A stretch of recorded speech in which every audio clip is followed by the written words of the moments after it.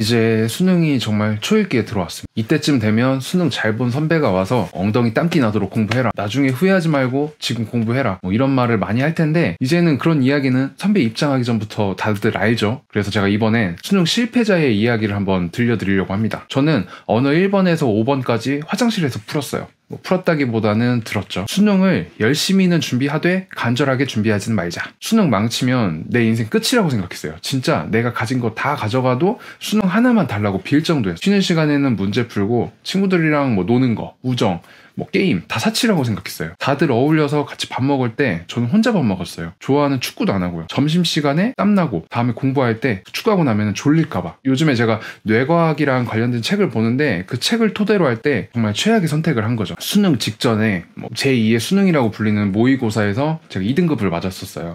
근데 실제 수능에서는 5등급이 나왔어요. 6등급 나온 과목도 많았고요. 기대하고 열심히 공부한 대입이 실패한 결과는 꽤 오래 갑니다. 심지어 수능 다 보고 수능이랑 아무 상관없는 알바할 때마저 비교를 당하게 돼요. 이것 때문에. 제가 만나는 사람 대부분이 적어도 저보다는 다 좋은 학교를 다녔거든요. 졸업하고 나서 제가 생각한 게 진짜 세상에 나보다 못난 사람은 없다. 어떤 무시라도 다 받아들이고 첫 직장도 뽑아주셔서 감사합니다라는 마음으로 최저임금도 안 되는데 나 스스로 휴일 반납하고 연장 근무하고 그렇게 일했었어요. 내가 만약에 수능을 잘 봤으면 어땠을까를 고민해봤는데 제가 멘탈이 약해서 보나마나 애매한 학교 가서 아마 어깨뽕만 잔뜩 들어갔을 거예요.